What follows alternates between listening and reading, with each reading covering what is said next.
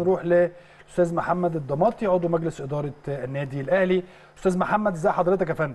إزيك يا إسلام؟ أخبارك إيه؟ الحمد لله حبيبي ربنا يا كابتن يخليك. خالد أخبارك إيه يا حبيبي؟ أهلا بيك يا أستاذ محمد تحياتي ليك. آه، حبيبي. يعني اولا ألف مبروك بطولة رقم 12 لسه كنا بنتكلم بطولة رقم 12 وحضرتك الآن عضو مجلس إدارة.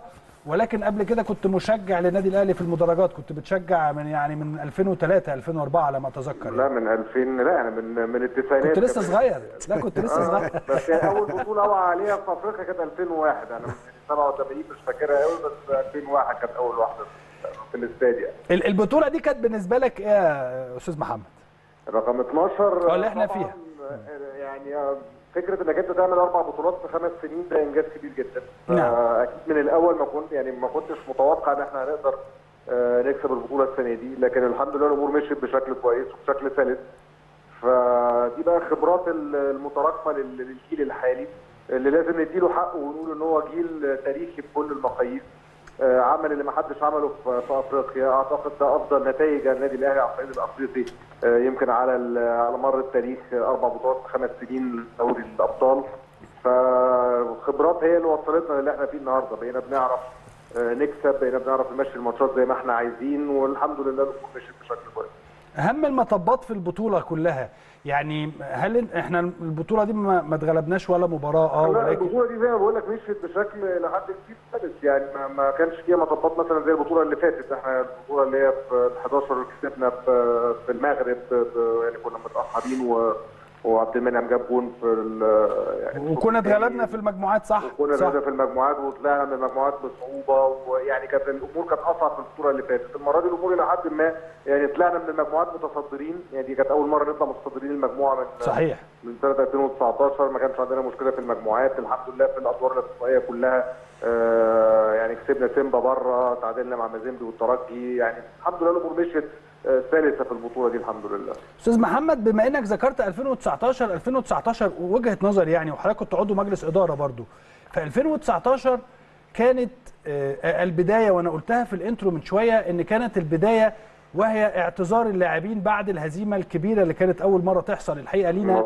في آه، بريتوريا أعتقد من بعد هذا الأمر ودي ميزة النادي الأهلي إن هو بيعرف إن هو عنده أخطاء فمجلس الإدارة مفوض أو بيفوض المشرف على الكوره كابتن محمود الخطيب إن هو يقدر يعمل اللي هو شايفه في مصلحة الفريق ده حصل 2020 2021 2022 2023 2024 انت بتصل للنهائي بتاخد أربعة من خمسة خلينا ندي كل واحد حقه يعني بعيد عن مجلس الإدارة لازم آه، يعني نقول الكابتن خطيب آه، قدر إن هو يحول دفة ال- ال- الأمور في النادي الأهلي في الشؤون الكروية ولازم ياخد حقه بعد المجهود اللي اتعمل بشكل كبير على مدار. الخمس سنين اللي فاتت. آه، خمس مشاركات على التوالي في كأس العالم، ثلاث ميداليات برونزيه، خمسة نهائي آه، على التوالي منهم أربع ألقاب، آه، لازم ندي كل واحد حقه. كابتن الخطيب استحمل كتير اشتغل في ظروف صعبة ظروف صعبة جدا ضغط ضغط كبير من الجمهور ومن ال social media حرب كبيره على النادي الأهلي. ومع ذلك مش بس عدى لبر الأمان لا عدى وعدى بإنجازات كبيرة. ده طبعا مجهود يشكر عليه إدارة الكورة في النادي الأهلي بقياده كابتن الخطيب كل بقى الأطراف اللي موجودة سواء لجنة تخطيط أو شركة كورة أو طبعا جهاز فني ولاعبين. آه، زي ما أنت بتقول من 2019 الدفه اتحولت تماما افريقيا. والحمد لله زي ما زي ما بقول دلوقتي الجيل ده بقى عنده الخبرات اللي بتخليك تقدر تكسب بطولات من غير ما تحس بأي مطبات زي ما إحنا كنا بنتكلم. بس كده إحنا بينا وبين بعض إحنا بينا وبين بعض بنقول آه إحنا عايزين ال 13 ولكن الأمور بتصعب برضه لأن أنت يعني الأندية كل سنة بتحاول إن هي تقوي من نفسها وأيضا النادي الأهلي. سقف جمهور سقف طموح جمهور النادي الأهلي ملوش حدود. حقيقي. يعني وأنا أولهم يعني إن أنا طبعا بنفكر في اللي جاي. يعني إحنا النهارده بقى لنا يومين خلاص أنت بتفكر بتقفل الصفحه وبتفكر في اللي بعده. آه عندنا دوري وعندنا سوبر وعندنا كاس و- وعندنا السنة اللي جاية آه في كأس عالم للانديه اللي في أمريكا وفي كأس الانتركونتيننتال الجديدة اللي موجودة. طموح جمهور النادي الأهلي ملوش حدود. وبنفرح آه لكن ما- يعني ما بنفرحش كتير لأن إحنا دايما عايزين نكسر الارقام وعايزين أي حد النهارده يبقى عقبال ال 13 ما حدش النهارده بيبارك لك كده يقول لك مبروك وخلاص. كله النهارده بيفكر في ال 13 وكله بيفكر في البطولات اللي جاية ودي عظمة النادي الأهلي واللي بيخليه مختلف عن أي نادي تاني.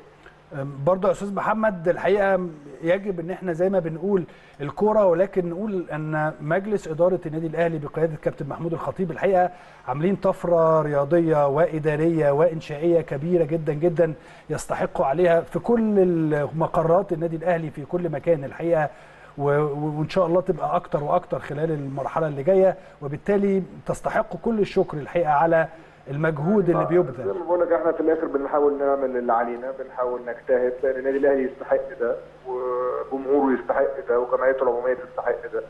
بنحاول نجتهد في كل في كل الاتجاهات وفي كل الملفات والحمد لله ربنا بيوفقنا في حاجات كتير وكرم ربنا علينا كتير الحمد لله. وفي حاجات تانية بن يعني ما بنوفقش فيها من أول مرة وبنحاول طبيعي. تاني وبنركز تاني. و... وفي الآخر زي ما بقول لك توفيق ربنا مهم جدا. إحنا في الآخر في, في رياضة.